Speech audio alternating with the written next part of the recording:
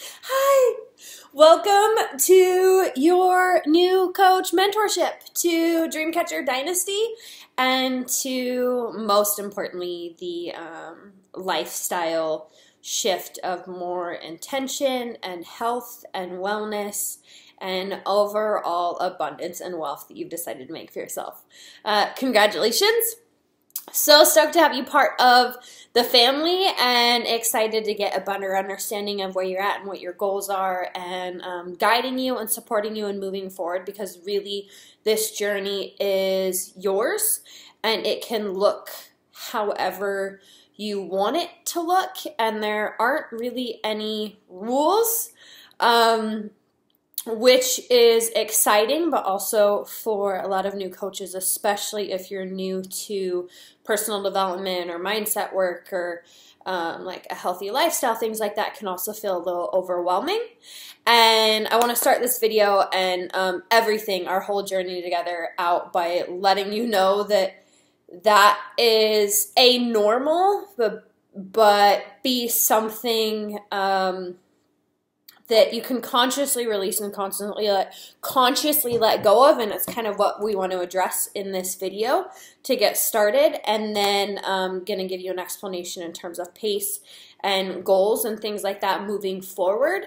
So as you're getting beginning in your training and in um, learning about coaching and about beachbody and about our programs and about everything you have a real foundational understanding because you're going to hear a lot of um, words and goals and and these big picture ideas thrown out um, in all your training and videos and things that you're going to be watching.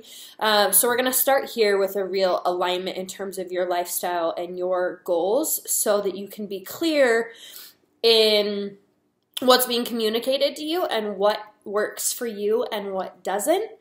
Um, and that is kind of we're going to start your number one lesson in terms of a lifestyle change and moving into a space of more alignment in our lives, um, which is our big thing with Dreamcatcher Dynasty. Our our tagline is intention, intuition, purpose, and um, it's as a culture we really focus on like the aligned spiritual aspect of goal setting and abundance creating and dream making and all of these things so that it can feel in a really good, clear space.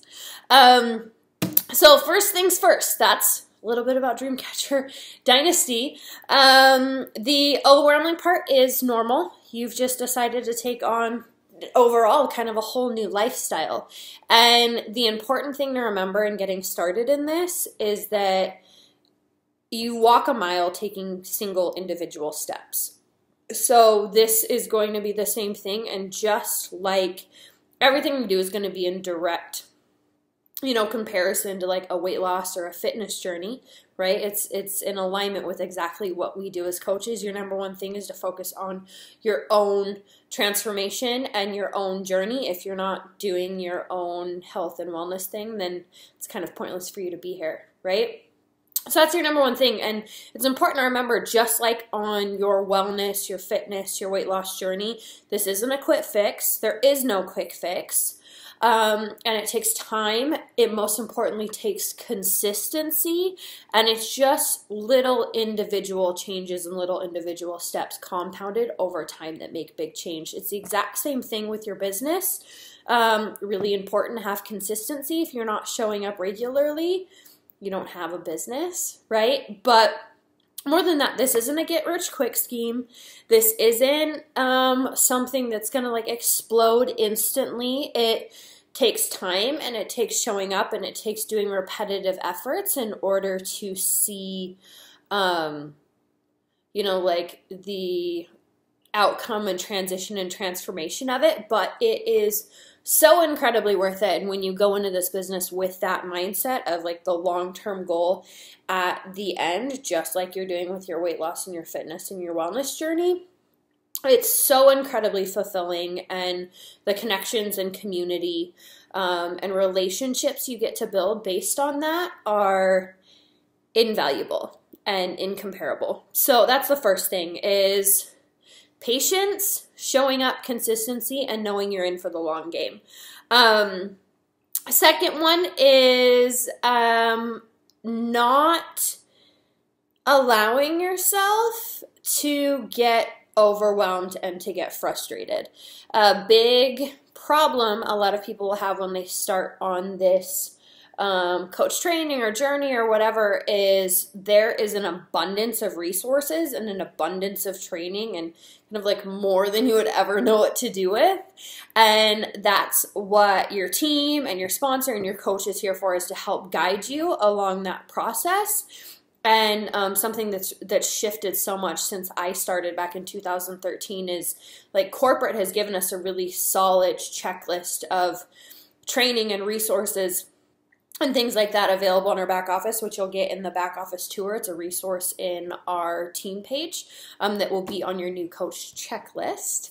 Um, but instead of getting overwhelmed and feeling like you need to learn everything and do everything and do all of these trainings and understand everything from the very get go, uh, taking learning step by step and in what you're learning these each individual things and these each individual steps and ideas and measures is implementing those instantly. So, for example, um, like in your new coach training, learning about the invite process and about talking to people versus waiting and doing training further in terms of understanding coaching or programs or things like that to implement, just jump forward and start implementing what you're learning because so much of this process is working through it, getting comfortable with it, and you can get all the information and outlines. You can get a million of them, but things like building relationships and talking to people is something that is only going to come with experience. It's only going to come through working through it and figuring out what works for you and what works for your people and like your vibe and your energy. And that's just going to come with comfortability of doing it over and over. That being said, there's going to thing, be things that come up for you that are scary, that are new, that are, you know, you've got major blocks too. And that's what we're here for. We're here to move through blocks. We're here to release things holding us back. We're here to you know, work through limitations and gain more confidence and do things that we're afraid of so we can be the person that we want to be. Fear is no longer an excuse. It's now a motivator because everything you want is on the other side of your fear and on the other side of this discomfort, right? You you grow into the person who does these things versus just becoming them before something's going to come to fruition. So, big one is learning, but mostly implementing and implementing instantly and, and trusting that it's going to build off of itself. Um, with that, you're going to get, so like I said, there's a new coach checklist, um, which is just going to be a basic like checklist to work through. Take it step by step. Do one check, learn, training, do the step, whatever, implement, finish that before moving forward. Simple, easy. Ta-da! You're welcome. Um, and yeah, that's that's what I've got on that. Next, let's talk about um, pace and consistency. So there are this business can look any way that you want it to. Um, for us, for me, when I first started, I was um, with this comes pacing. So pacing means you can either like walk this business, you can jog this big jog this business, or you can run this business or sprint it, if you will. Um, and something important to know is that that shifts over time. That can shift. You can shift that at any point and making that conscious choice in terms of your pacing and your business goals in relation to um, your lifestyle and where you're at and kind of how quickly you want to move things. So there's no right or wrong answer to this, but the important part is the consistency part. So what can you show up and commit to and do consistently. This will change based on who you are and where you're at in your life and what's going on and what your goals are. So, for example, when I started in 2013, I was working a full time job um, in a relationship, but my uh, fiance was working out of town and I hated my job and I wanted to quit my job and I wanted to be coaching full time. So I jumped in this business full bore 100% as a sprinter from the very beginning. So um, my goals were, and uh, get out a piece of paper if you don't have one yet. You should anytime you're watching a training video or something like that, have a piece of paper, have a notebook, somewhere to jot down and write down your thoughts. Like, treat this, if you want this to be a business, you have to treat this as a business. If you treat it as some cute little hobby to show up to, it's going to earn like a hobby and it's going to affect your life like a hobby. Okay, so if you want it to be a business, you have to treat it like a business, and specifically in relation to your lifestyle, if you want the incredible transformation that you see over and over with Beachbody, it's because people treat it with the respect and priority necessary in order to be there. So um, that's really important. Back to the pacing. So when I first started, I was sprinting. So I worked um, in the morning before work, I worked at lunchtime, and I worked after work. I was working an additional probably 34 hours um, 30 to 40 hours a week on my business on top of my um, 40 hour work week. Then I quit my job five months into coaching and just leapt and trusted in this and fell in love with this really quickly and kind of knew it was going to catch me. And at that point, I was probably working 100 hours a week on coaching. Again, it's not uh, get rich quick thing. It rolls over. The amount of time and energy you're going to put into it is what you get out of it. And especially at the beginning, what you need to know is there's a about a 60 to 90 day turnover period with people and with your um, journey and with everything that with what we do um, people aren't 100% ready to jump in at the very beginning so it's like planting a seed sowing a seed so know that the work and the effort you put in now is really kind of going to pay off two to three months from now and so um, jumping in and working all of those hours was a lot, but it paid off really quickly, and I was able to make up my full time income from my salaried corporate job in six months and do coaching full time quickly because of that. But it was because I was sprinting and putting that time and that effort and that focus fully into my business. Okay, so that's the sprinting option. I was 26 and in a relationship, but not married, nothing, you know, like I had that time and energy to focus there. And that was just where I was at. I was at my career, I was at my job, I was, that's where I wanted to be.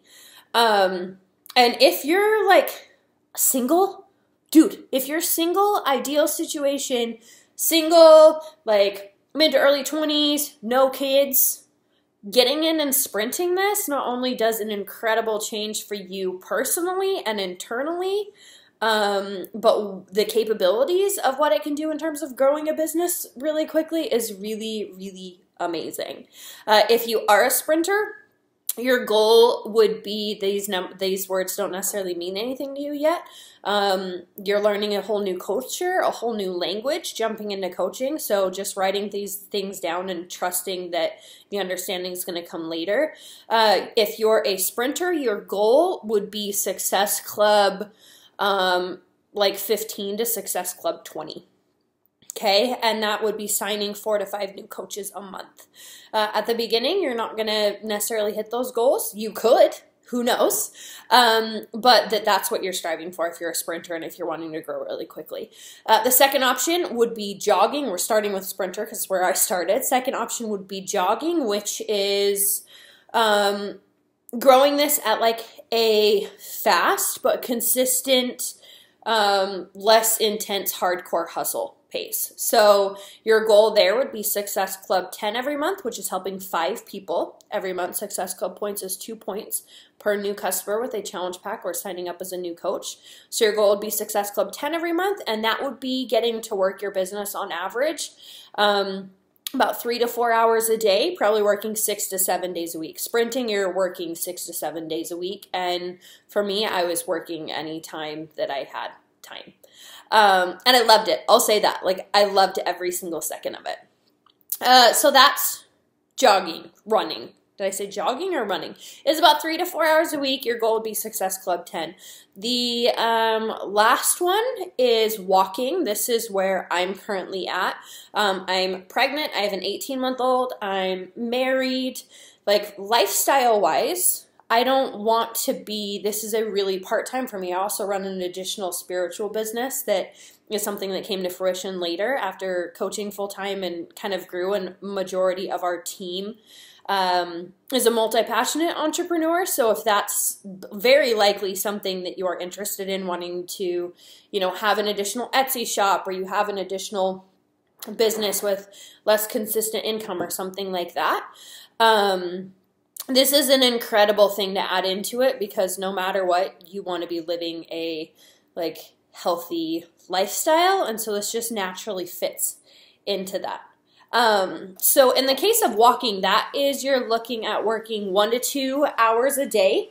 Um, typically like five to six days a week. So I really work my business Monday through Friday. Um, Saturday, I check in and respond to messages on Saturday, but I don't really work on Saturday. Uh, the weekends are my creation mode, and Sunday, I'm on full like firewall. I do not work on Sunday. Um, and I'm working one to two hours a day, specifically on my Beachbody business consistently. That's the important thing is the consistency part of it. You can do a power hour, you can get things done, you can get it done in a condensed amount of time if you're focused and if you're driven. Um, and you can build a really amazing business on a small amount of time with consistency. With that walking, your goal would be helping three people a month minimum. So that's Success Club 5. And regardless of what your pacing is, helping three people a month, Success Club 5 is going to be your bare minimum in terms of running a growing successful business. So you'd be Success Club 5 adding one to new, two new coaches um, a month if you're walking. So, uh, the big question I have for you out of this video is what is your pace based on um, your lifestyle and where things fit in? Again, that can change at any point. So, like right now, I started as a sprinter. There was a while where I was um, walking. I came back and jogged for a little bit. Now I'm back at a pace of walking. And, you know, when we hit later, um, I've got goals like this winter and later this fall with resolution effect to go back to a sprinting, not a sprinting mode, but like a running mode a little bit. So it can always change. Um, but where you're at right now in terms of guidance and support and things like that, I would like to know are you a walk? Are you jogging? Or are you sprinting so that we can get you set up with um, your goals and your guidance and direction? And from here, after responding to that, uh, you're going to get added to some team pages and um, you're going to get added to your challenge and coach training and resources once your response comes back will be more um, directed after that. So thanks for hanging out and watching the video. Welcome to dreamcatcher dynasty. We're so excited to have you. Congratulations on starting your new lifestyle transition. And i can't wait to see where you go and what comes from this. And this changed every single aspect of my life and becoming a coach is very very sincerely and genuinely the single best decision i have ever made. And what you put into this you will get out of it. The possibilities are entirely endless